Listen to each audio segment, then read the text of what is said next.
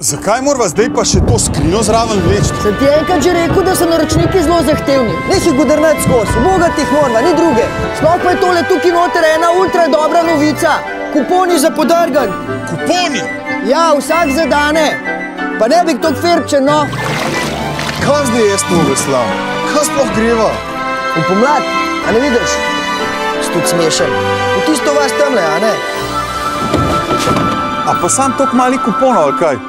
Šef, To je samo vzor za promocijo, jih imajo še za cel šleper. Pa še en ogromen kup na internetni aplikaciji. Dej veslej že, no, mudi se nama. Jaz bom pa malo povadil, da mi nov treba pol z lista brati. a jaz ne pa z vesli bobnam, ali kaj? Veslej pa dej mir. Spoštovane in spoštovani, Pri Telemahu odkrite svoj popust. Pojdite na spletno mesto kupon.telemah.si in mogoče bomo prav vam celo leto plačevali Telemahove položnice. Vsak kupon je dobiten. Zvolite, gospodična, tudi za vas. Gospod župnik, bi lahko tole krvi, prosim?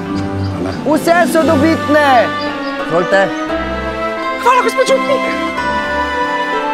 Šef, a lahko tudi jaz eno? A si ti nor, ti skaj v službi. Ja, Pejva, imamo še veliko za prevesle danes.